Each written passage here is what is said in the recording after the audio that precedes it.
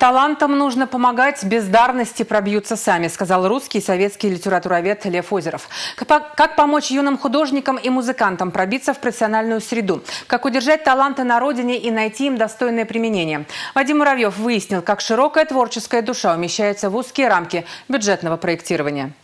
Татьяна Серебрякова – молодая художница. Она и еще 44 живописца выставили свои работы в Центре современного искусства. В каждой индивидуальное видение мира и его толкование.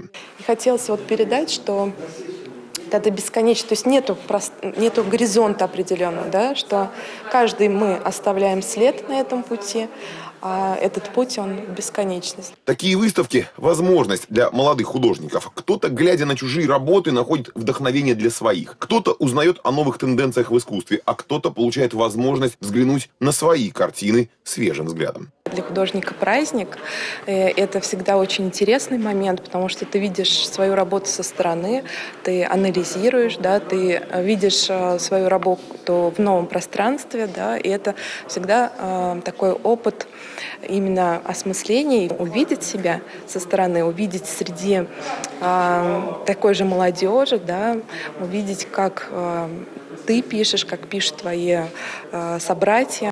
Татьяна преподает в Чебоксарском художественном училище, одной из ступеней профессиональной подготовки, промежуточное звено между школой искусств и вузом. Зачастую знаний, полученных здесь, достаточно при наличии таланта и трудолюбия для головокружительной карьеры. Выпускницы школы имени Юрьева работают ни много ни мало в студии Дисней, мультипликаторами. Их умение и креативный подход так высоко оценены на Западе, но так нужны на родине. Вернуться из-за океана они вряд ли захотят, да и нужно ли это? Дистанционка – это не только про эпидемию коронавируса, это про пространство, без без тысяч километров и часовых поясов. Для вашего направления неважно территориально, где находится человек. Угу.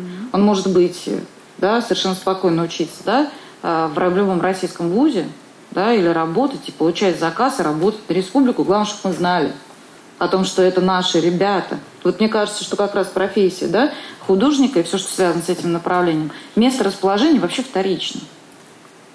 Талант, он мирового масштаба.